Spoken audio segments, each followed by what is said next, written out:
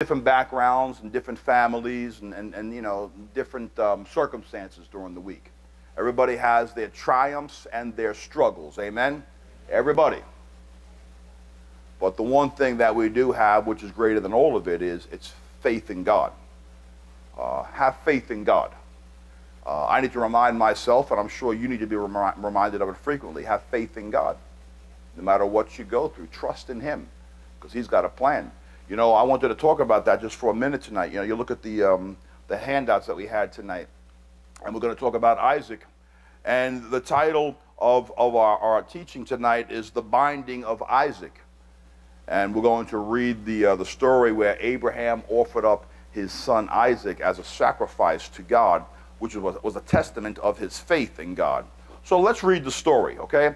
Let's take our time, read the story. If you haven't heard the story, listen to it, be reminded of the details, and then we'll talk about it for a minute. But let's read about this story about the binding of Isaac. Why don't we read through it, Pastor Dad? Genesis 22, if you'll start us.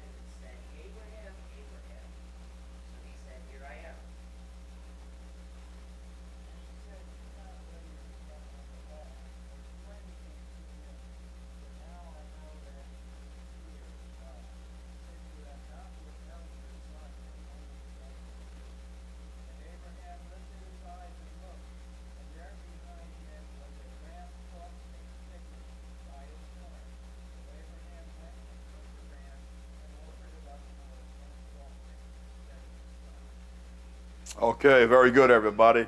The story of Abraham and Isaac. You know, this is one of the most extraordinary stories in the Bible. Of course, it's a picture of Christ, right? Where the Father would sacrifice Jesus Christ, his Son, upon the cross for, for everyone. It's a picture of Christ, of course. And you know, look at the uh, the story. I know we, you, most of us know the story of Abraham offering Isaac, but right there at the last minute, it's always striking that Abraham lifted up his hand, getting ready to slay his son, and the angel of the Lord came and said, "Wait a minute, Abraham. what a what a story! What a story!" Now, you know, the beginning of the story it says that God was going to test Abraham, right? God was going to test Abraham's faith. Now, it's not as if God didn't know how it was going to turn out. God knew that Abraham's faith would prevail. God knew that. So, really, God was showing Abraham that his faith would prevail. Because God knew what was going to happen. But God wanted to make Abraham stronger. He wanted Abraham to become strong in his faith, knowing that he would fulfill the word of God in the face of all circumstances. Isn't that the truth? So even, you know, you can turn your page and we'll look at some of the commentary notes there. You know, what I want to concentrate on tonight, just for a few minutes, is not Abraham, but I want to talk about Isaac for a second. Because some say that Isaac was not a young boy. Some say that Isaac was 25 years old. Just curious. Jonathan, how old are you? How old are you? 16? How old are you? Okay, you guys got a few years. All right. Well, just picture this guy was 25 years old. Some commentaries say he was 37 years old. He wasn't a child. So when Abraham took him up the alt, up, up the mountain there, you know, I want to talk about Isaac. He was the willing sacrifice. You want to talk about Abraham having faith? He wasn't the one dying that day. Isaac was. Isaac was. He was the willing sacrifice.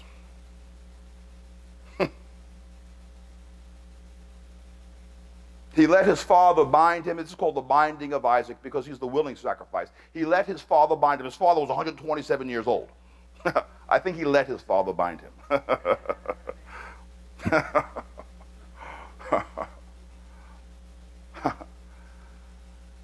and he, he, he laid on that altar as his father raised that knife.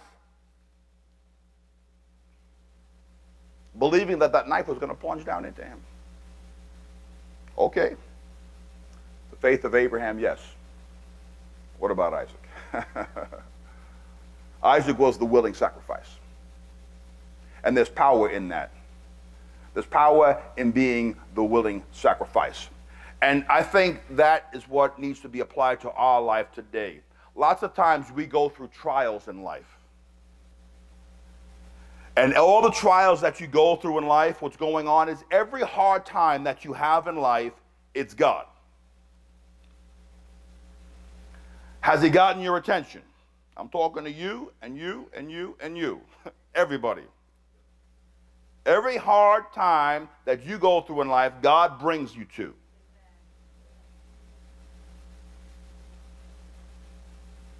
Now, are we the Isaac? that says, okay, Lord, do what you want. I'm just going to lay here and be still. Most of the times, no. Most of the times, we're not the Isaac. We're not the willing sacrifice. All too often, we're the ones with the fear, complaining, confusion. It's okay because we're human. It's okay. This is, we're human. All too often, we put our fist towards God. And if we can't find God, we'll put our fist towards anyone we can find. You are the source of my problem, my pain, my sorrow, my fear, right? But it's God. But God is looking for inside each and every one of us, He wants you to be the willing sacrifice. He wants you to be the one that goes through the tri- trial and the test and says, I trust you, Lord. I trust you, Lord. Amen. I have faith in you. Faith in God will take your fear away. Faith in God will give you some joy. Faith in God will give you peace. Right? We're people of faith. What makes a difference between us and the rest of the world is not what we go through. You go through the same thing everybody else in the world goes through. We think our Christianity keeps us from that. No, it doesn't. It gives you faith to get through it. Right? Uh huh. And maybe God will bring us to a point where we become the willing sacrifice because the truth of the matter is if you provide the sacrifice, there's only one thing that God will provide. If you provide yourself the sacrifice, God will provide the fire. I mean, and in, in a good way. I mean, you want the fire of God in your life? You want the power of God in your life? You want God in your life? I do. I want the power of God. I want strength. I want the fire of God. What, how do I get it? Provide a sacrifice. I, I'll bet you, you provide the sacrifice, the fire will come. Amen? And that's what I see here. You know, even with the binding of Isaac, you got you. Who, who did not read uh, anything would like to read? Somebody read John 10 there, 11 through 13.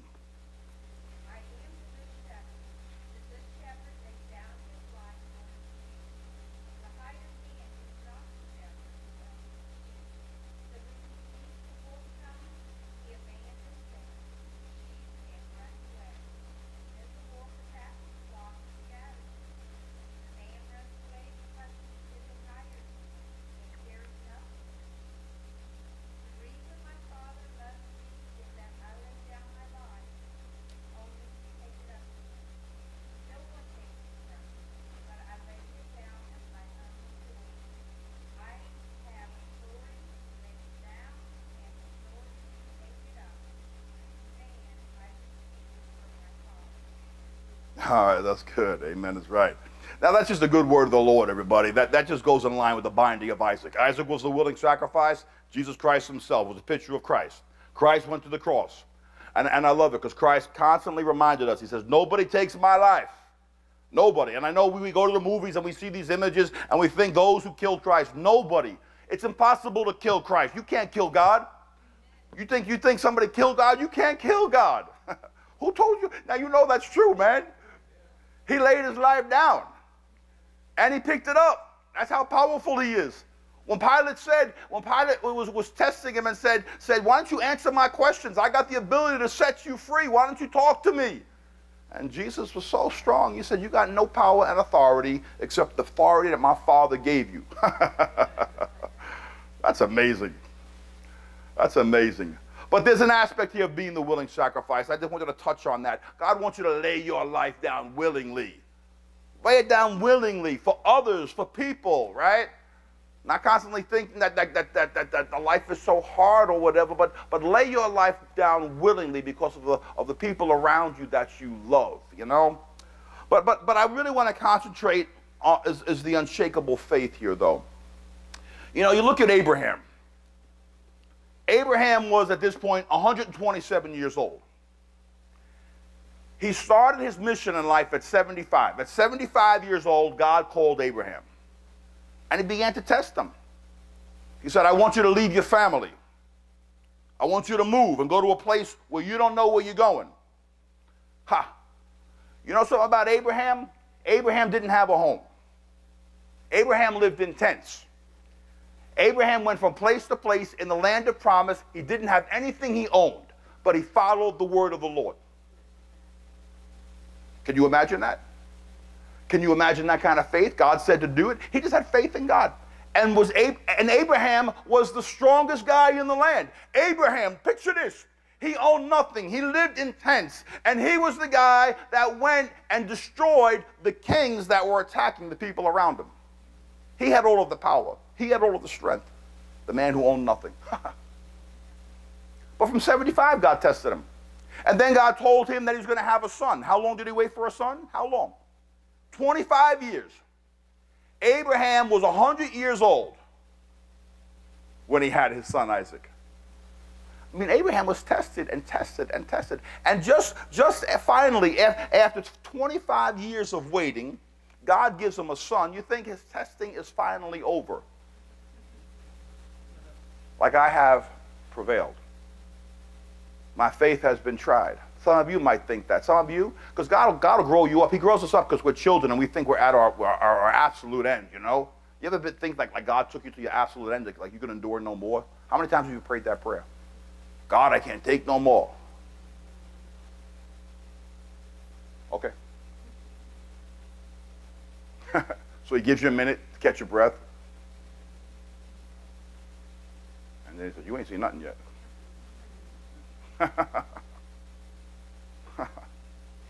I am so reminded. I, I, I, remember back when we had Covenant Youth, and uh, I don't know if you remember Camille Law. Camille Law had a daughter, Crystal. And during youth group, they made these magnets, refrigerator magnets, and they would put their glue on the magnets and put their glitter on it and put a little saying on it. She made one for me. I remember to this day. And the saying was this Don't ask God for an easy life, ask God to be a strong person. That little magnet has stuck with me since she gave it to me. and you are the blessed ones that God says, I'm, I'm going to make you a strong person. You know, the thing about Abraham, Abraham was a good person. He really was. He was a good man. You know that? He was a good man. But God wanted to make him a great man. And I know that to be true of you. God wants to make you great. That means we got to crank up the fire and we got to test the faith. Because only unless you test the faith does the good become great. You know that. God said on Sunday he, he wanted to make you great because he wanted to make his name great. So he says, I'm going to put you to the test, but he knows you're going to pass because he knows the spirit inside of you cannot fail. You don't know that, though. I don't know that. You, you don't know that. You don't know that the Spirit of God inside you will never fail. You don't know that the Spirit inside of you will always prevail, will always get through, will always get by. You don't know, you don't know that because of the Spirit of God that's inside you, you could open up your mouth and say, I'm fine and everything's going to be all right. You don't know that. But God's going to show you that that's true. God's going to show you that no matter what you confront, you can stand up and say, The Christ in me cannot die. You, can, you, can't, you can't hurt him. You can't touch him. Uh, you can't destroy him. You, you, you can't conquer him. The difference between good and great is a testing of your faith. And if you're going through some hard times, believe it or not, God chose you for greatness. You'll say thank you later. Because there ain't no thank yous coming out of our mouth right now. but later you'll say thank you. Because you'll realize that the Spirit of God inside you can never fail. We're talking about unshakable faith here. Look in your commentary. I want to show you something.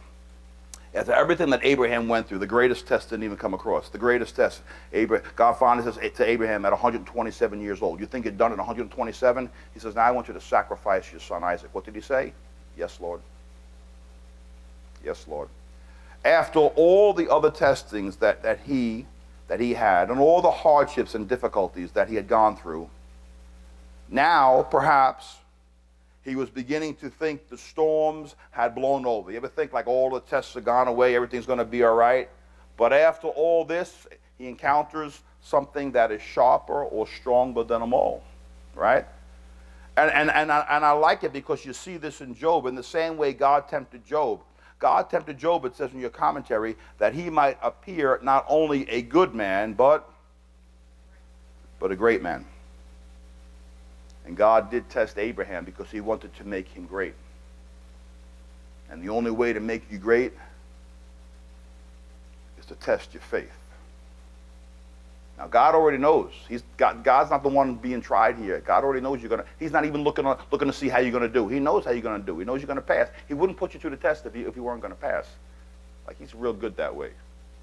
He knows you're going to pass. He knows you're going to get by. He knows. He knows tomorrow is brighter. He knows that you win the race. He knows. You don't know because you're in the middle of it. You don't know because you're in the middle of it. But what do you have? Yeah, that was weak, but I'll take it. You have faith. now, you don't have the answer to your problem, but what do you have? Yeah, you, you, you don't have perhaps the answer to your prayer or the relief from your distress, but what do you have?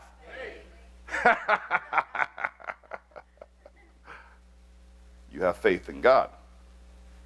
And maybe you don't want to tell anybody, but maybe whisper to yourself once in a while I'm going to be all right. Everything's going to be all right. This is all being done for the glory of God. Amen? Your faith must be tested in order for it to become great. Your faith, everybody says they have faith. Everybody, everybody says they have faith. If I asked you if you had faith, everybody in this room will probably raise their hand. I got faith. Okay. You know why you have it? So it can be tested. You got it so it can be tested. Some of you say, well, you can have my faith back. I don't want it. I don't want faith. You got faith in God. What does faith in God means? You believe in the invisible. You believe in something that cannot be seen, felt, or touched. You believe you believe in, in, in, in, in, the goodness of God. You believe what we sang for offertory. You actually believe, you actually believe that God loves you. God loves you. Amen. I like, I like that. I like that. I was at the gym this morning and I was listening to a song and I heard one of the songs. Which one was it? Um, oh, how he loves us. Wow. That's enough to settle you down.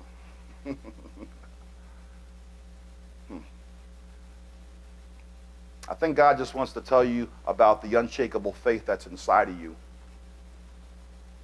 And you're not going to know that it's inside of you until He tests you. No matter what you're going through right now, you're going to win, you're going to prevail, and it's going to make you stronger. It's going to make you stronger. God chose not to give you an easy life. He chose to make you a strong person, right? Anybody want to read who hasn't read before? Somebody read 1 Peter. And, and, and listen to this, guys. This is good. 1 Peter 1, 6 to 9. Somebody read that, please.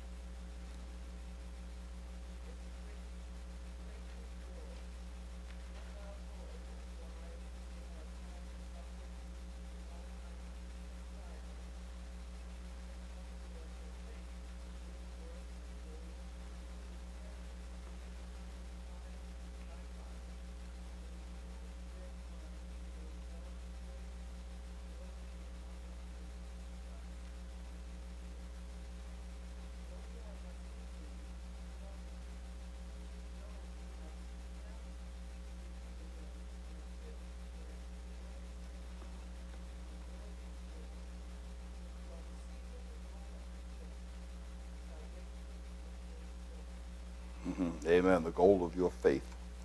You guys hear what that said? It said that although right now you might be suffering some kind of grief or trial, it says these things have come so that your faith, which is of greater worth than what? Gold. God says the most important thing you have in life is faith. And we think that the answer to all our problems, are you, you know, we think what the answer to all of our problem is? Money. We think we need money. Money will fix my problems. God says, nope. The most important thing you have is faith. And God will keep the money from you until you find faith. Do you know that? Sometimes He'll keep the money from you until you find faith. Because faith will save your soul, and money will not save your soul. But I know we're all too carnal and we get caught up in the day. It's okay. It's okay because we're human. It's okay. We're human beings. And we think that money is the answer. We think that once God does this for me, I'll be all right. Once the pressure is off me, I'll be all right. We're fools. We're fools. We're fools.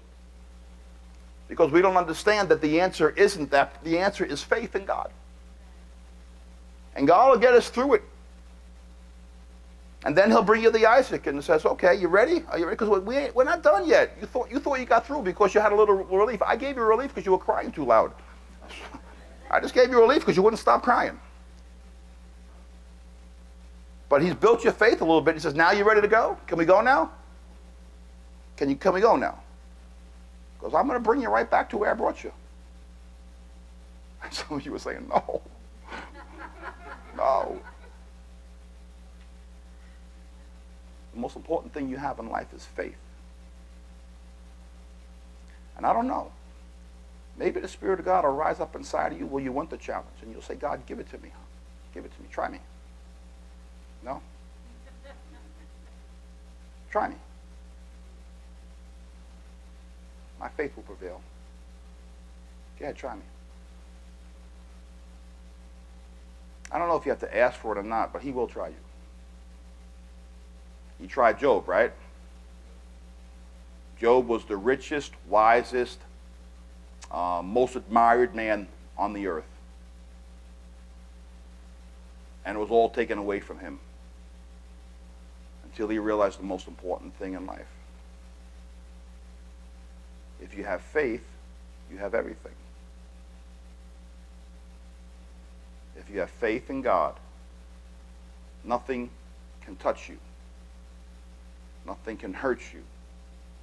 Nothing can make you afraid. Nothing can rob you of peace if you have faith in God. We say we're people of faith. Faith will save your soul.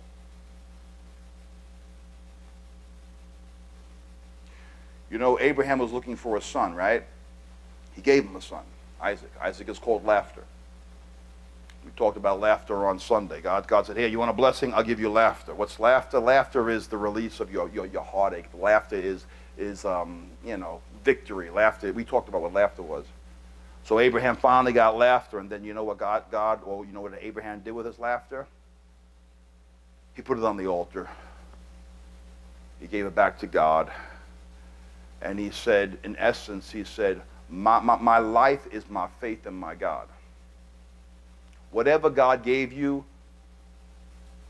Would you be willing to put it all back on the altar and say, Take it back, God? That's not what I wanted. I thought I wanted all of these things. Would you be able to put your Isaac on the altar? What have you wanted to give you peace? What have you wanted to give you, I don't know, an answer?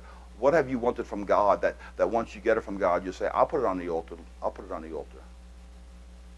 I give it back to you, Lord. Because I realize the only thing I really need is faith in God. Hmm. You know, at the end of the day, I know we're too carnal to understand some of these messages. All of us, we're just too human to understand these messages because we think that the end of the day, the, the blessing of God is, is, is financial security and, and health. We, it's still in our heads. Only God can get that out of our heads. Somewhere deep down inside of us, we think that our peace will come from our financial security, from our jobs, our houses. I don't know. Um, but God, God will bring us to a place of real faith unshakable faith. Unshakable faith. That no matter what comes your way, you are not moved. Like Abraham himself, God said to him very simply, I want you to offer up your son Isaac. He said, Yes, Lord. First thing in the morning, he got up. he got his son Isaac. Come here, son. Going on a little ride and he was willing to give all of his hopes and dreams and everything to God and say, God, the only thing I really need in life is you. Now, at the end of the day, Abraham did, did get Isaac back, right? At the end of the day, Job got everything back, right? Yeah. Okay. But, but, but that really was not the blessing. The blessing was this Abraham knew God. Job knew God. They knew God like nobody on earth knew God. That's the blessing. So, whatever you're going through, we'll leave it at that. Sometimes you, you have to go through things, because at the end there it says the release of Isaac. Sometimes you have to go through th- some things so that you can bless somebody else. You know that? God wants you to go through some things so when somebody else is going through some things with experience, you can look at them in their eyes and say, it's going to be all right. Have faith in God. And they're not going to listen to you unless you have a story. Not that you tell your story, your life is your story. What you've become is your story. You have to know God to present Him. You have to know that God is faithful. You have to know that faith prevails.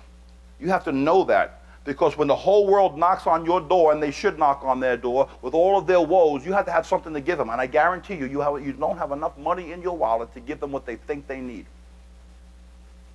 I guarantee you. But you got to give them faith. Tell them your faith will prevail. God is testing you. Your test will come to an end and he will make you into that he'll make the good into the great he'll make the weak into the strong right he'll give you joy from your sorrow so sometimes you even have to go through things not for yourself but for the sake of others now the beauty of all this in closing i would say is there's nothing you have to do you can't do anything to make this happen and you can't do anything to stop this but at least you know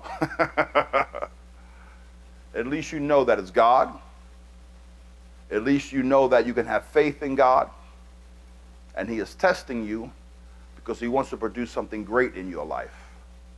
He loves you and He will produce something great in your life. Amen? So that is the word of the Lord for tonight. God bless you all. Why don't you stand up and we'll, uh, we'll close the word of prayer. Praise the Lord. I believe you're here tonight because God wanted you here tonight and He wanted to tell you something. Lord God, we, we love you. And we thank you because we know that you love us, that we are your children, and you watch over us. So maybe you've given us like a moment of peace here tonight. You gave us a little bit of a shelter, a little bit of a reprieve, a haven, where we can just relax our souls and maybe, maybe we can say, I trust you, Lord. I trust you, Lord. And because of that, I want to pray for you. I pray, God, I pray, God, that you would bless your people. I pray, God, that you would hear their prayer and answer their cry. I pray, my Lord God, that you would prove to them that you are a God who loves them and who will never fail them. I pray for the peace of God to rest upon every soul in this house. I pray for the love of God to be made manifest. And I pray, my Lord, for your name to be glorified from our own lips. Let your name be praised. In the precious name of Jesus Christ, we pray, and everybody says, Amen. Amen. God bless you all.